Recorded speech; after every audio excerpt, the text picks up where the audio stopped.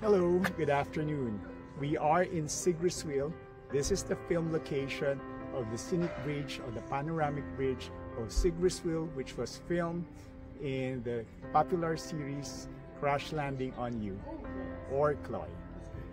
Hi. Ah.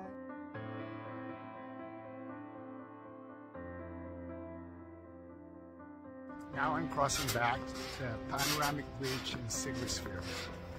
It's a little bit shaky and if you're afraid of heights, this may be a little bit scary for that person.